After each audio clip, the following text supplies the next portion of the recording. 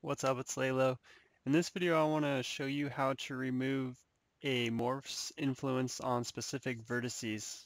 Let's say you created a head morph and you accidentally sculpt a little bit on the body or something like that and you want to um, stop the head morph from changing the body. It's pretty easy. First thing you want to do is select your ge geometry tool which you can find on your hotbar right here. So we'll click on that and then you need to go to the tool settings for that tool which I have docked over here. If you don't have it anywhere on your user, user interface, you can add it by right-clicking on the pane here and adding the tab. Um, you won't see it in my list because it's already there, but usually just be down here under T's.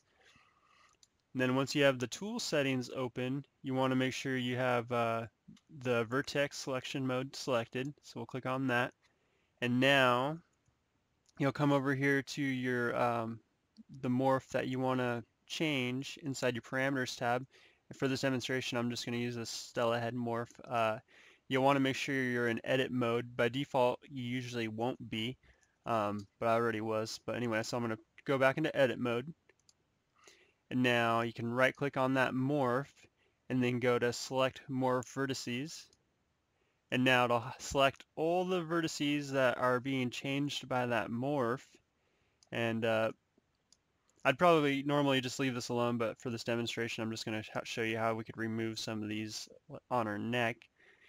Anyway, so now you can change your um, selection mode if you right click on the figure pretty much anywhere in the scene I think yeah so go to selection mode I'm just going to use lasso for this demonstration and now by default, the Alt key will, uh, if, if you hold the Alt key, you'll deselect whatever you select in your lasso. So I'm going to hold the Alt key and then just kind of lasso around some of these vertices here.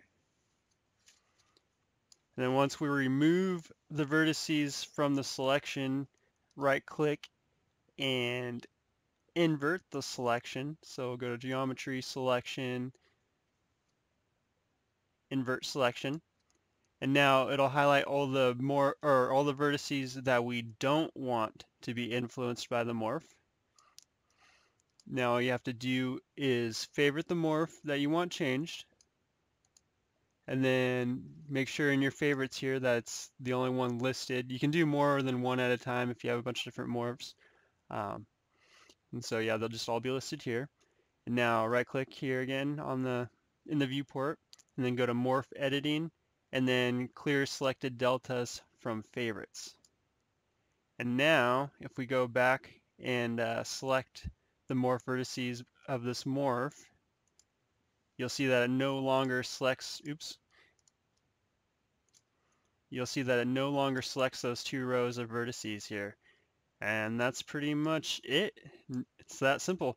And then uh, you'll just want to make sure like this won't actually save any of the changes. So now once you, you know, deselect or, or once you uh, fix the morph you're working on, you'll want to resave it. So just go to File, Save As, Support Asset, Morph Asset, and then you can pick whatever asset directory you want. I always use a different one for my uh, works in progress. Uh, you can put in your vendor name or whatever name you want and then the uh, product name. So in my case, I do Stella.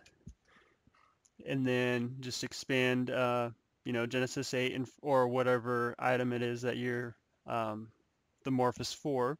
And then just find the the morph in the list. Mine's under My Sculpted Characters and then Stella Head. Now if I hit accept, it'll save it out and then my morph will no longer change those two rows of vertices on our neck.